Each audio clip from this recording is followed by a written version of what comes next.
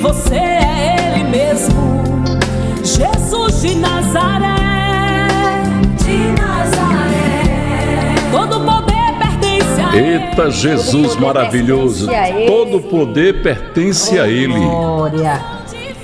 Grande verdade. Amados queridos, Todo bom dia, bom dia, bom dia. A paz do Senhor Jesus. Deus abençoe sua família, Deus abençoe sua vida. Pai do Senhor, pastor. Pai do Senhor, minha irmã. Deus abençoe Minha você, irmã, minha A paz Senhor, meu pretinha. amor. A paz do Senhor, meu pastor. A paz do Senhor, família Pão da Vida. Mas que Deus venha nos guardar, nos abençoar todos os dias. E que a mão potentosa esteja sempre sobre as nossas vidas. E que as nossas ovelhinhas, a perto e as distâncias, se sintam abraçados por esse Pai maravilhoso. Um bom dia, bom dia, bom dia, bom dia. Ó.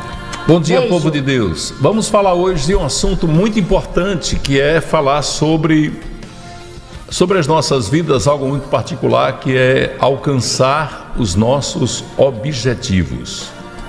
Que coisa interessante, né? Todos nós temos muitos projetos, muitos planos.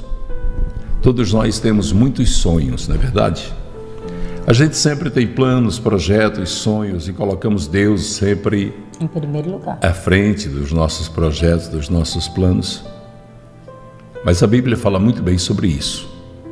E um dos versículos da Bíblia que nos ensina muito sobre exatamente isso está, está mais no, no livro de Provérbios falando sobre isso. Mas veja Provérbios 19, 21, que é que diz? Muitos são os planos no coração do homem, mas o que prevalece é o propósito do Senhor. Aleluia. Sabe o que, é que essa palavra está dizendo assim claramente? Muitos são os planos que nós fazemos. É aquilo que a gente pensa para nossas vidas. Mas o que prevalece É a vontade do é a Senhor. vontade de Deus. Que bom, né? Aleluia, é verdade. Que bom, amor, porque tem muitos planos que a gente faz que não são agradáveis a Deus. É verdade. Tem muito plano, a palavra de Deus diz que muitas coisas aos olhos de cada um de nós são, são agradáveis, mas nos leva à ruína. É sábio estabelecer objetivos na vida? Claro.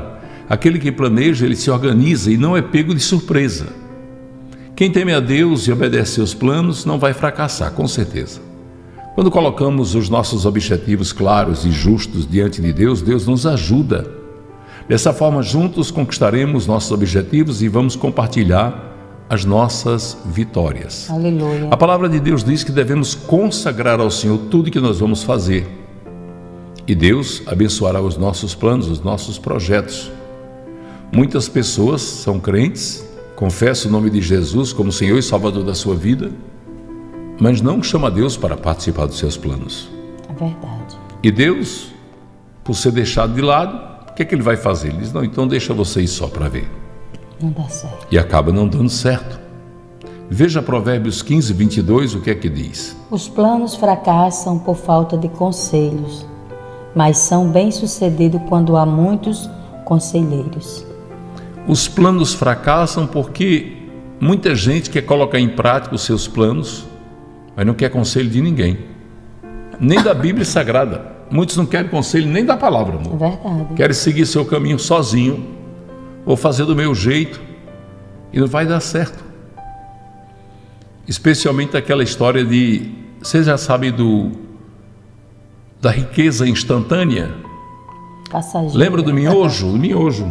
Aquele macarrãozinho que você bota ali uma, uma, uma aguinha fervendo, no instantinho está pronto. Três minutos. Muita gente quer vitórias como se fosse miojo. Eu quero agora. Mas olha o que, é que Provérbios 21, 5 diz. Os planos bem elaborados levam à fartura, mas o apressado sempre acaba na miséria. É verdade.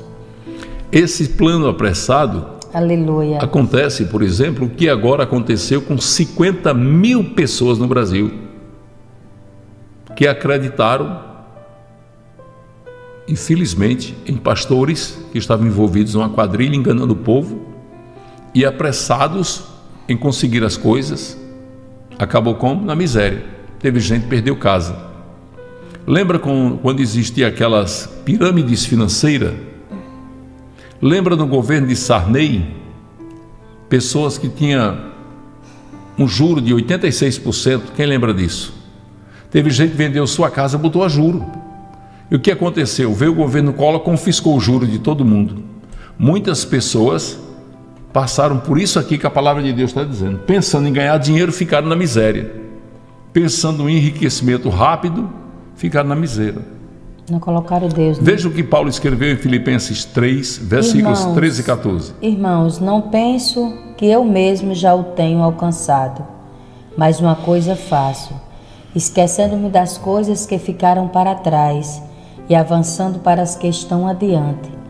Prossigo para o alvo, a fim de ganhar o prêmio do chamado celestial de Deus em Cristo Jesus. Aqui Paulo está dizendo: Eu estou trabalhando pelo meu chamado. Esqueci tudo para trás. Quem conhece a história desse homem sabe que esse homem era um fabricante de tendas, era um filósofo, um poliglota, um homem rico, de uma família rica, abandonou tudo para seguir, seguir os planos de Deus. Mas o que foi que Paulo ganhou com isso? Você quer mais? Paulo foi arrebatado ao terceiro céu. Deus levou Aleluia. ele na morada celestial de Deus. Está em 2 Coríntios capítulo 12. Aleluia. Por quê? Porque ele consagrou tudo a Deus. Olha o que fala Provérbios 16, 3. Consagre ao Senhor tudo o que você faz, e os seus planos serão bem-sucedidos os seus planos vão ser bem-sucedidos, por quê? Porque você consagrou a Deus. O que é que eu consagro a Deus? Eu dizendo, Senhor, é o desejo do meu coração que eu alcance isso, mas eu consagro a Ti, é teu. Então, quando você chama Deus Aleluia. para participar dos seus planos, dos seus projetos, aí a coisa é diferente. Porque quem vai estar na administração, quem vai estar na direção é Deus. E quando Deus está nessa direção, vão, vai dar certo. Lucas 14, 28 a 31. Qual de vocês, se quiser construir uma torre, primeiro não se assente e calcule o preço, para ver se tem dinheiro suficiente para completá-la? Pois se lançar o alicerce e não for capaz de terminá-la, todos que virem riram, de, riram dele, dizendo: este homem começou a construir e não foi capaz de terminar. O qual é o rei que, pretendendo sair à guerra contra outro rei, primeiro não se assenta e pensa com dez mil homens e é capaz de enfrentar aquele vem contra ele como vinte mil. A palavra está dizendo assim: se você vai construir uma casa, aleluia. Eu vou, eu vou construir uma casa. E eu quero construir essa casa em dois anos. Mas se você for construir essa casa, é um projeto seu, um plano seu, um objetivo seu. Mas se você não tem recursos, vai fracassar a construção. Aí está dizendo que o rei que vai à guerra, qual é o rei que não calcula o tamanho do seu exército? Se ele tem menos homem, como vencerá aquele que tem o dobro dos seus homens? Aleluia. Ou seja, primeiro ele vai pensar na situação. Isso é prudência. A pessoa vai pensar se aquilo vai lhe trazer prazer ou ele vai lhe trazer uma desilusão na vida. Eu tenho certeza que muitas pessoas que estão ouvindo esta mensagem depois desta oração tiveram desilusões na vida. Tipo, eu planejei e não deu certo. Eu mesmo fiz vários planos na vida que não deu certo. Porque foi você, né? Porque fui eu que fiz. Mas veja Provérbios 13, 16. Todo homem prudente age com base no conhecimento, mas o tolo expõe a sua insensatez. O homem prudente, ele age de acordo com Aleluia. o conhecimento que ele tem de Deus, para fazer exatamente aquilo que a palavra lhe ensina. E outra coisa, muitas pessoas falam eu, eu, eu, eu vou fazer, eu aquilo, eu vou realizar, eu, eu, e esquece de dizer que é Deus que faz. Isso quer dizer se o Senhor permitir, se Deus deixar. Veja Tiago no capítulo 4, nos versículos 15 e 16. Em vez disso, deveriam dizer: Se o Senhor quiser, viveremos e faremos isto ou aquilo. Agora, porém, vocês se vangloriam das suas pretensões. Toda vanglória como essa é maligna. Tá vendo? Todo eu, todo egocentrismo, É todo narcisismo, toda individualidade, toda a pretensão de achar que você tem um poder para fazer, a palavra está dizendo que é maligna. Eu Aí nesse faço, mesmo eu posso, capítulo ele vai dizer: diga assim, não diga que amanhã você estará ali ou acolá. Diga se o. Senhor permitir. Aí ele fala sobre isso. É quando você pede permissão a Deus para que as coisas aconteçam de acordo com aquilo que você planejou, porque tem a bênção de Deus.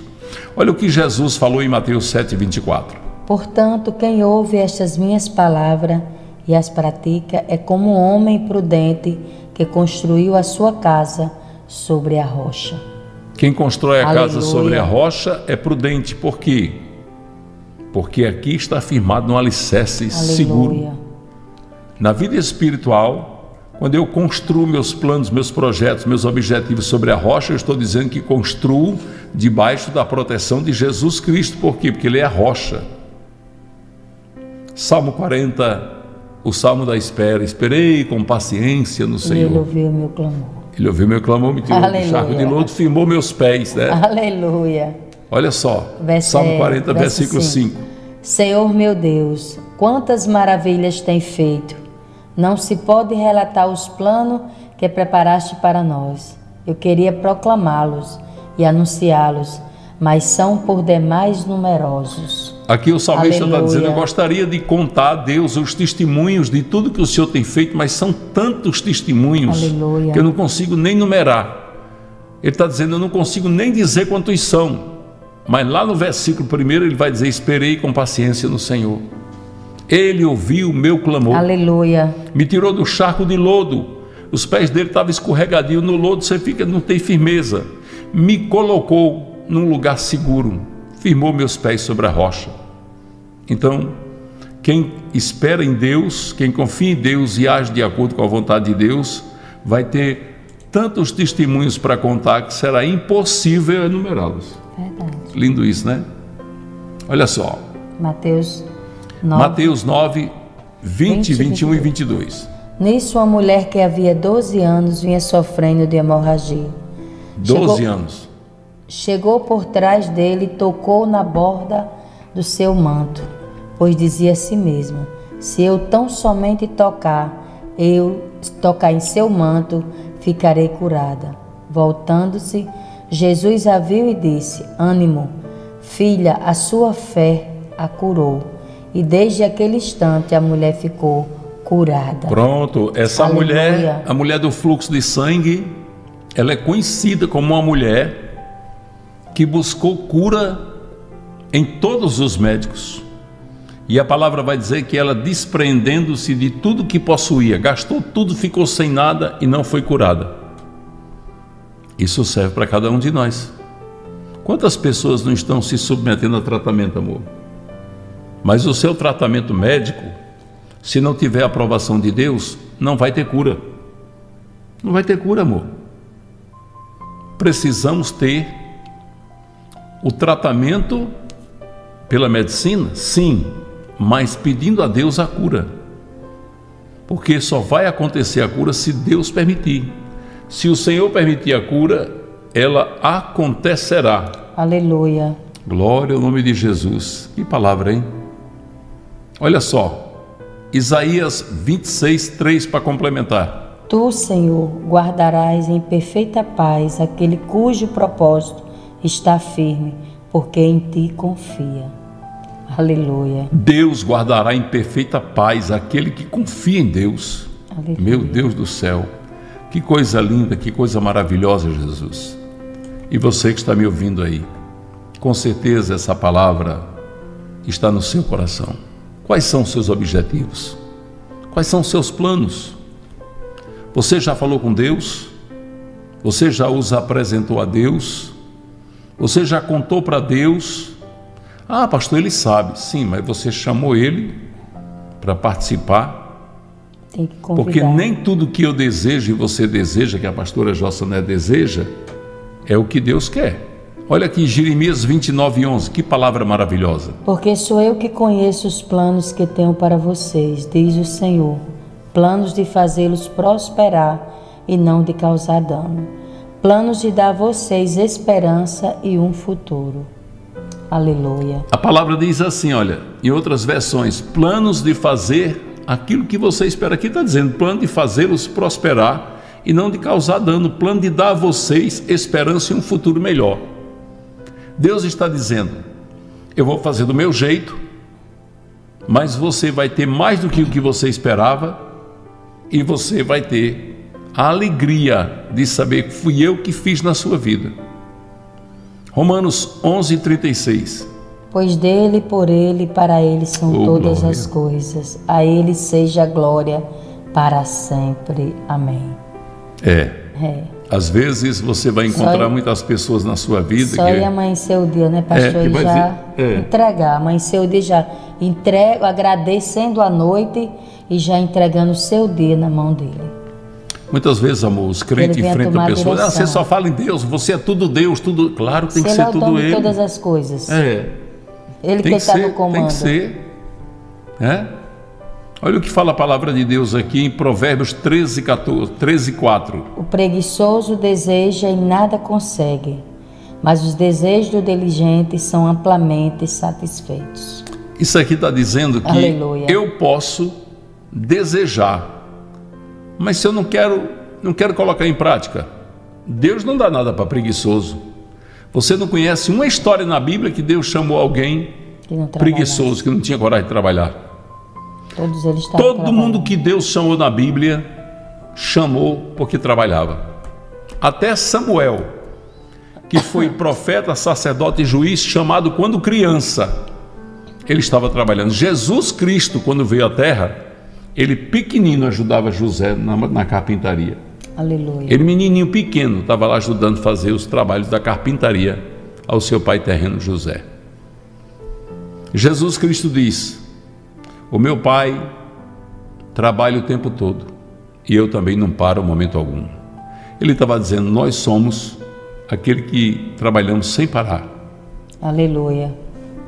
Amém? Vamos Amém. ler aqui Salmo 119, versículo 27. Faz-me discernir o propósito dos teus preceitos. Então meditarei nas tuas maravilhas. Pois é, essa palavra aqui está dizendo: Senhor, me faz entender. Discernir. Discernir quer dizer analisar e saber o que é de Deus e o que não é. Aleluia. Isso é discernimento. Compreensão. O salmista está dizendo: Senhor, me faça entender o que, é, o que é teu e o que não é. Porque às vezes, aos nossos olhos, um projeto parece muito belo, muito bonito, mas não é o que Deus quer para nós. E aí, como é que vai ser? Se não é o que Deus quer, nós não queremos. Pode ser o que for, pode parecer tudo muito belo, tudo muito bom, pode parecer tudo muito maravilhoso, mas não, Deus não, Não quer. é a vontade do não, Senhor. é, Deus não quer, então pronto. Se Ele não quer, eu também não quero. Eu só quero o que o meu Deus quer. Aleluia. Na nossa oração nós devemos dizer, eu e a pastora nós oramos assim, você deve orar também, dizendo assim: Deus, nós não queremos nada que não venha do Senhor. Por favor, Deus, não deixe nada chegar a nós sem, Se que, sem que vontade. seja das tuas mãos. Só queremos o que vem das tuas mãos. Aleluia. Essa deve ser a oração de todo crente. Nós vamos orar agora. E nessa oração nós vamos pedir a Deus exatamente isso: discernimento, compreensão, sabedoria. Pai querido Deus amado, Sim, meu Deus. de todos os dons que os seres humanos têm, Pai, o mais importante, Deus, é o dom da sabedoria. É, Pai. É o dom do discernimento, da compreensão da tua palavra e dos teus projetos e planos para nossas vidas. Paizinho, nós queremos pedir, Pai, em nome de Jesus Cristo, que o Senhor possa, meu Deus, nos abençoar. Deus, nos abençoar, Pai, É, com aquilo que agrada o teu coração, pois nós queremos fazer exatamente o que agrada ao teu coração. Sim, meu Deus, é assim. Não nos deixe, Deus, caminhar fora da tua presença, fazendo aquilo que não te agrada, Pai. É, Pai, sem concordância. Abre, Deus, as portas Sim, meu Deus. e nos faz entrar pelas portas que o Senhor abre Sim, e rejeitar as portas que são abertas pelo inimigo, Pai. Obrigado, Deus, porque o Senhor tem cuidado de nós. Nós pedimos a tua direção para nossas vidas, pedimos a tua bênção, Pai querido, para todos que estão conosco, para as nossas ovelhinhas, nossas moderadoras, moderadores. Pedimos a tua bênção e a tua direção para a vida, Senhor, daqueles que nos ajudam, teus filhos e filhas que nos ajudam com seus dízimos e Sim, ofertas, trazendo, Deus, dízimos e ofertas para a manutenção da tua obra. Abençoa, Pai. Abençoa todos que nos ajudam a fazer a tua obra. Ensina-nos, Deus, a fazer aquilo que agrada o teu coração. Sim. E nos dá, Pai querido, Deus amado, a oportunidade, Deus, de fazer exatamente É, do jeito que o Senhor quer, do jeito que o Senhor deseja, Pai. Comando é teu. Abençoa os que têm votos e propósitos. Abençoa Deus, todos que Pai. desejam ajudar esta obra e Deus pede te oportunidade para ajudá-la. Abençoa, Pai, a todos que nos acompanham, os inscritos no canal, os que dão like, os que compartilham. Abençoa, Pai, poderosamente, no nome santo e maravilhoso do teu Filho amado, Jesus Cristo. Amém. Amém, papai. Glória a Deus. Daqui Oh, a pouco tem um glória. culto no lar. Vamos estar juntos adorando a Deus, tá bom? Vamos Nosso fazer o nosso coraçãozinho. apaixonado por Jesus e por vocês. Beijo no coração, inscreva-se aqui no canal, dê o seu like e compartilhe. É de graça e você ajuda o canal a crescer. Um abraço cheio do Espírito Santo em todas as nossas ovelhinhas. Em um mundo agitado, onde muitos enfrentam a solidão e o abandono, há um lugar que brilha como um farol de esperança. Um refúgio para os que perderam seus lares. Um abraço caloroso para os que foram esquecidos. Bem-vindos à Clínica de Reabilitação Casa do Pai. Cada tijolo colocado é um ato de amor. Cada detalhe deste lugar é uma extensão da esperança de uma vida melhor que está por vir. A Casa do Pai foi erguida não apenas com concreto, mas com alicerces de solidariedade, compaixão e generosidade. A Casa do Pai é um lugar de recomeço, de redenção, onde cada irmão que vive em situação de rua é convidado a escrever um novo capítulo em suas histórias. Um lugar onde veremos testemunhos vivos da graça de Deus, histórias de superação e renascimento. Junte-se a nós nessa missão de resgatar vidas. Igreja Pão da Vida, a Igreja do Amor, uma família para pertencer.